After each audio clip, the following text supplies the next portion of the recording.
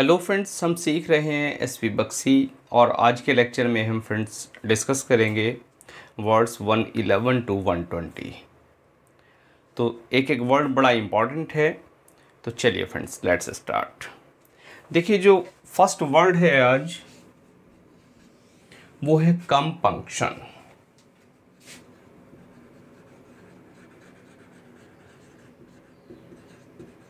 Spelling word का meaning और उसकी जो पार्ट्स ऑफ़ स्पीच है, वो सारी चीज़ें आप ध्यान से देख कर चलिएगा। C O M P U N C T I O N compunction compunction क्या होता है फ्रेंड्स ये होता है फीलिंग ऑफ़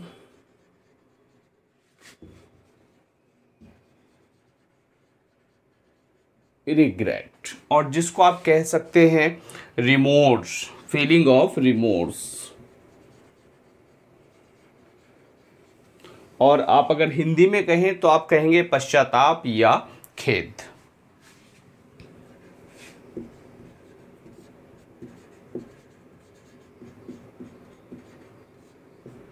पश्चाताप या खेद। अगर आपको कहीं यूज़ करना हो तो कई बार हम कह देते हैं without any compunction without any compunction या विदाउट कंपंक्शन यानी बिना किसी खेद के। विदाउट इस फ्रेज में आप यूज़ करें इसको विदाउट कंपंक्शन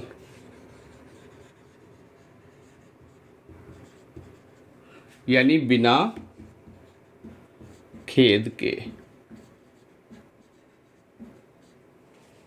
बात क्लियर फ्रेंड्स वर्ड क्लियर हुआ कंपंक्शन और पार्ट्स ऑफ़ स्पीच की बात करें तो ये कैसे यूज़ होता है? ये एज ए नाउन यूज़ होता है। नेक्स्ट वर्ड है फ्रेंड्स कैनाइन और कैनाइन की बात करें तो कैनाइन होता है ये एक adjective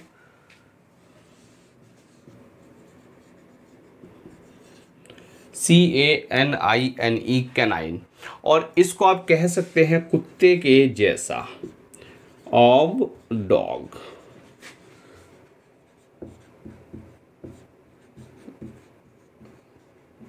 यानी कुत्ते जैसा। क्लियर फ्रेंड्स कुत्ते जैसी कोई चीज़ है तो वहाँ हम यूज़ करते हैं कैनाइन और इसी प्रकार जो कुत्ते जैसे दांत होते हैं हमारे जबड़े में, साइड के जो कैनाइन टीथ होते हैं, क्योंकि वो ऐसे होते हैं बिल्कुल लंबे जैसे एनिमल्स में जो कैन जो टीथ होते हैं, वो होते हैं मांस फाड़ने के लिए काम होते, काम करते हैं। तो इसी तरह हमारे मुँह में भी कैनाइन टीथ होते हैं। क्लियर फ्रेंड्स तो कैनाइन कहाँ से आया वर्ड ऑफ़ डॉग यानी कुत्ते के जैसा। और अगर आपको इसको यूज़ करना है तो एक तो आप कह सकते हैं कैनाइन टीथ क्लियर हमारे मुँह में कैनाइन टीथ होते हैं। और दूसरी तरफ़ आप इस वर्ड को ऐसे भी यूज़ कर सकते हैं कैनाइन फेथफुलनेस कैनाइन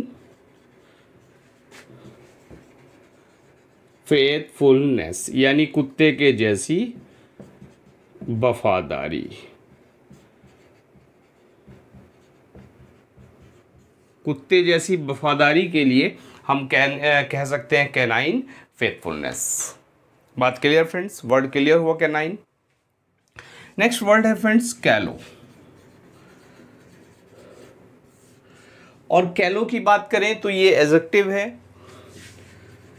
और इसका मतलब होता है फ्रेंड्स इमेच्योर और you can see inexperienced यानी कोई चीज़ जिसको एक्सपीरियंस ना हो, जो इमेच्योर हो, उसको हम कहते हैं कैलो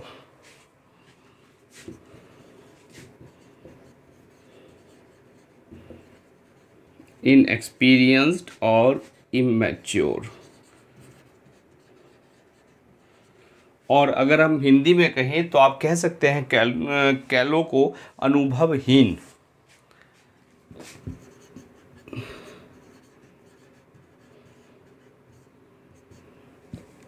अनुभवहीन।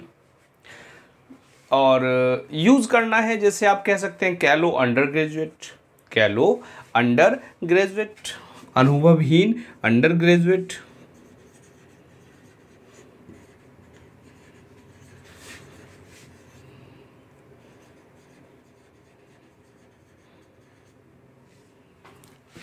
कैलो undergraduate.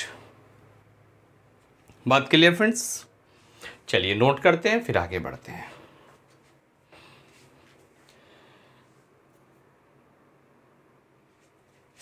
Friends, next word है chagrin.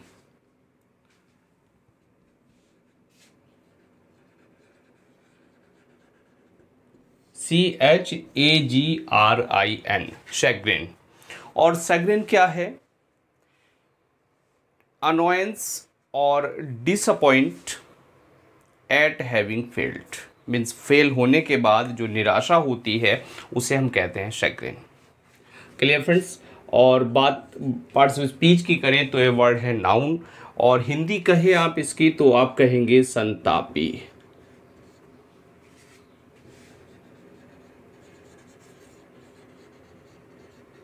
Annoyance at having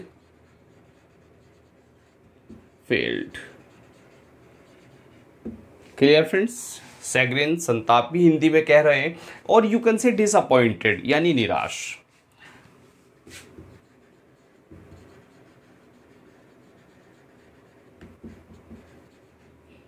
और हिंदी में कह लीजिए आप, निराश डिसअपॉइंटेड या निराश। क्लियर फ्रेंड्स अगर यूज़ की बात करें तो you can say the defeat of our team filled us with chagrin कि हमारी टीम की जो हार थी, उसने हमें निराशा में भर दिया या संताप संताप में भर दिया। Clear friends the defeat of our team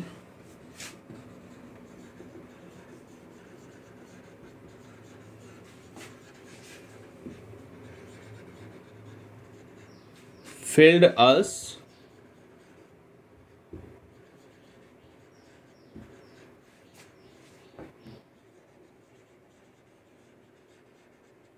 with saccharin clear? Next word है friends censure.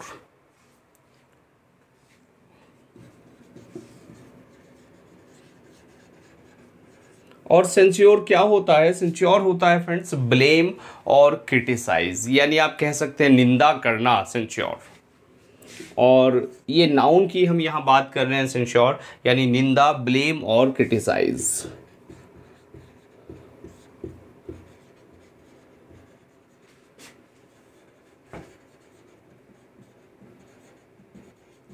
ब्लेम और क्रिटिसाइज। Clear friends?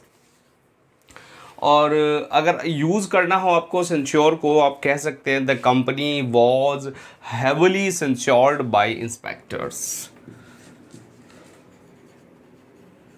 कि जो कंपनी है, उसको इंस्पेक्टर्स ने बहुत ज़्यादा उसकी निंदा की, बहुत ज़्यादा उसको ब्लेम किया, बहुत ज़्यादा उसको क्रिटिसाइज किया।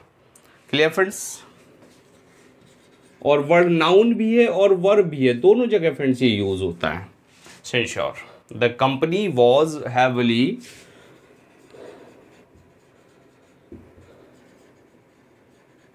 censured by the inspectors. Point clear हो गया वर्ड क्लियर हुआ। नेक्स्ट वर्ड है फ्रेंड्स कैलिबर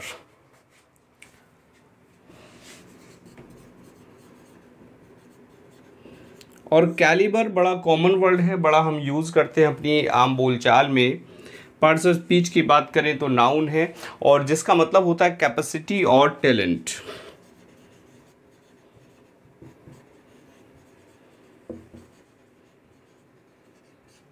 कैपेसिटी और टैलेंट यानी आप कह सकते हैं योग्यता या दक्षता।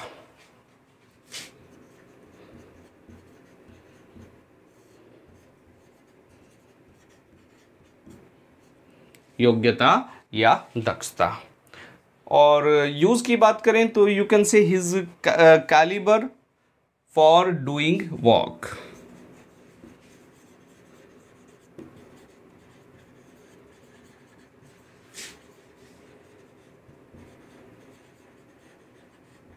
his calibre for doing work बात क्लियर फ्रेंड्स तो वर्ड क्या थे? Chagrin censure and calibre clear चलिए नोट करते हैं, फिर आगे बढ़ते हैं।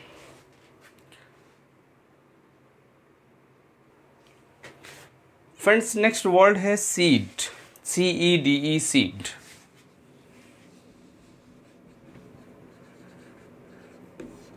और इस सीड की बात करें तो ये एक वॉब है, जिसका मतलब होता है सौंपना। यानी गिव अप पावर और टेरिटरी जब आप शक्ति या टेरिटरी को गिव अप कर देते हैं, सौंप देते हैं, किसी को त्याग देते हैं, तब आप इस वर्ड को यूज़ करते हैं सीड को।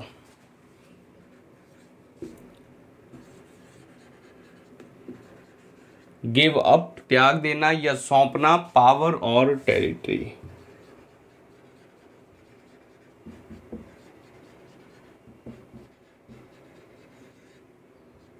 क्लियर फ्रेंड्स टेरिटरी या पावर को सौंपना त्यागना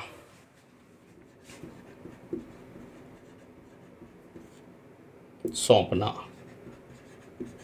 पावर या कोई क्षेत्र बात क्लियर यानी शक्ति या कोई क्षेत्र और सिनोनिम की बात करें तो एक सिनोनिम आता है फ्रेंड्स इसका अबंडन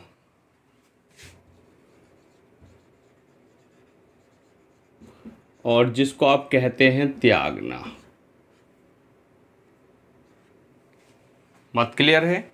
यानी द एग्ज़ाम्पल की बात करें तो the islands were ceded to Britain कि जो आइलैंड्स हैं, वो सौंप दिए गए किसको? ब्रिटेन को सौंप दिए गए।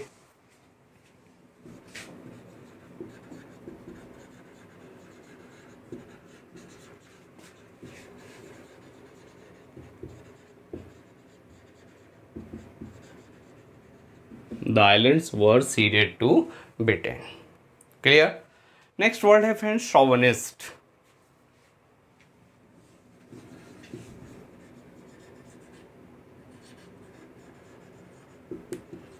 स्पेलिंग देखना C H A U V I N I S T chauvinist और शॉवनिस्ट क्या होता है पर्स स्पीच की बात करें तो नाउन होता है और जिसका मतलब होता है फ्रेंड्स अंध राष्ट्रवादी अंध राष्ट्रवादी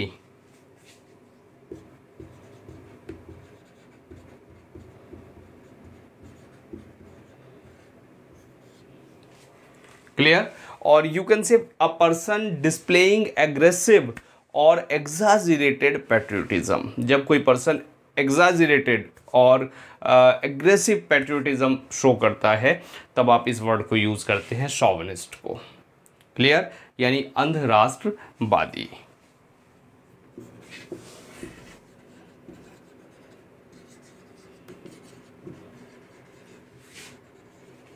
a person displaying aggressive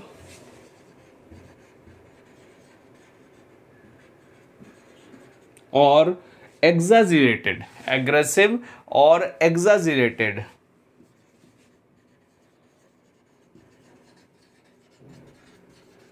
patriotism clear friends a person displaying aggressive और एग्जाजरेटेड पैट्रियोटिज्म तो ऐसे को, ऐसे व्यक्ति को आप कहते हैं अंधराष्ट्रवादी और शॉवनिस्ट इसका एक सिनोनिम होता है फ्रेंड्स जिंगो और बिगट.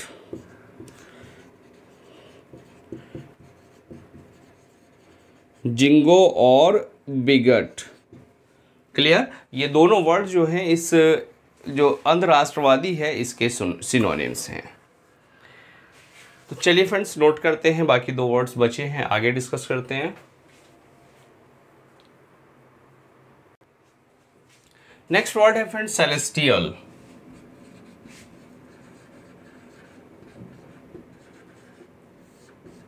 सेलेस्टियल और सेलेस्टियल क्या होता है, इसको कहते हैं आप हेवनली यानी ऑफ़ हेवन और स्काईज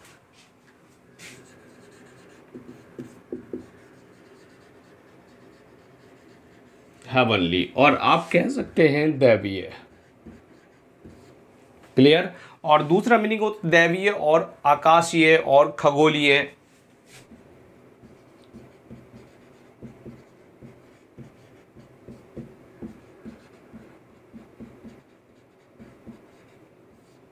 दैवीय आकाशीय खगोलीय।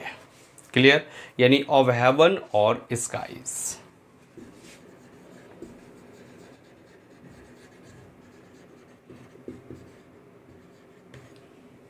और यूज़ की बात करें the heavenly city the celestial city और the celestial beauty of music इस तरह से आप यूज़ कर सकते हैं।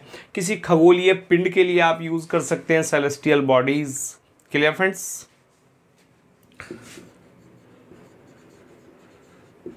the celestial body खगोलीय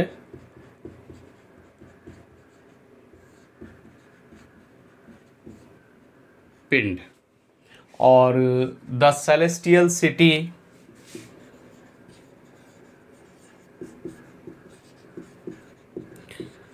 यानी कोई दैवीय शहर the celestial beauty of music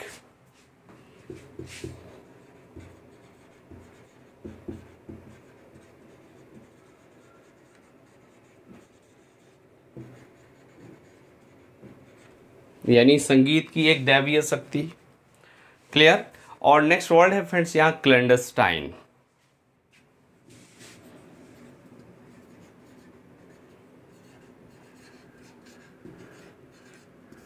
clandestine C L A N D E S T I N E और क्लेंडस्टाइन क्या होता है फ्रेंड्स इसके पार्ट स्पीच की बात करें एजेक्टिव है, जिसका मतलब होता है सीक्रेट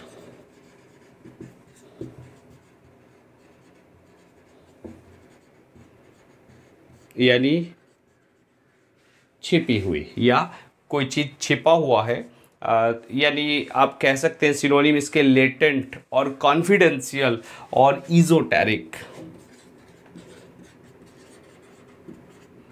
ईजोटेरिक और लेटेंट लेटेंट यानी छिपा हुआ जिसको आप गुप्त कहते हैं और छिपी हुई या दूसरा वर्ड आप गुप्त भी यहाँ यूज़ कर सकते हैं।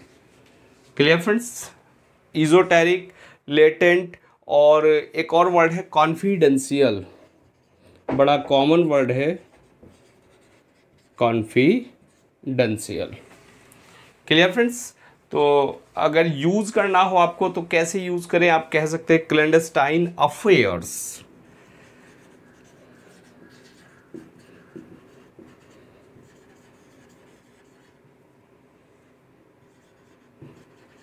क्लेंडस्टाइन अफेयर्स किसी के अफेयर्स हैं और कैसे हैं? गुप्त हैं। तो क्लेंडस्टाइन अफेयर्स वहाँ आप यूज़ कर सकते हैं।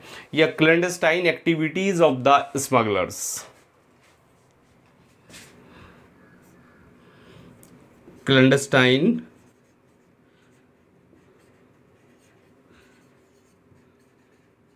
activities of the smugglers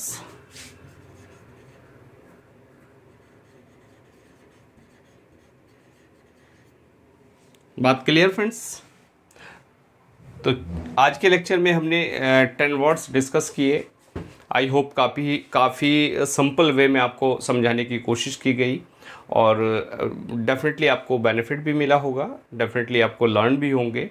तो चलिए फ्रेंड्स आज के लेक्चर को यहीं कंप्लीट करते हैं। नेक्स्ट लेक्चर में बाकी टेन वर्ड्स हम डिस्कस करेंगे। और इस लेक्चर के रिगार्डिंग आपको कोई सुझाव हो तो कमेंट बॉक्स में ज़रूर लिखें। Now thanks for watching this video